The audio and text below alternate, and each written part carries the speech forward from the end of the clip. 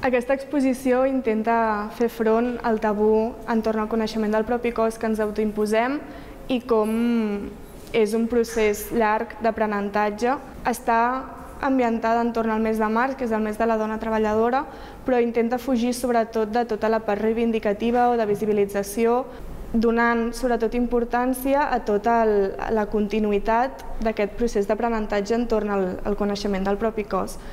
Aleshores, em baso en, en el concepte de la cinta de Moebius, que bàsicament és el concepte de, de l'infinit, perquè aquest procés d'aprenentatge, de coneixement del propi cos, és continu, és llarg i, i segurament no tingui final. Aleshores, també intento donar molta importància a tot el que és a nivell de gestió emocional i com el coneixement cap al propi cos a vegades ens costa. També crec que és, és important destacar que aquest no és un projecte que estigui acabat.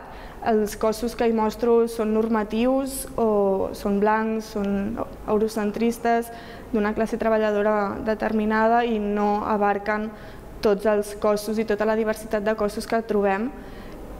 Per això crec que és important parlar del coneixement del propi cos, però també crec que és important tenir en compte que no tots els cossos són els que podria mostrar en aquestes imatges i que tot va més enllà.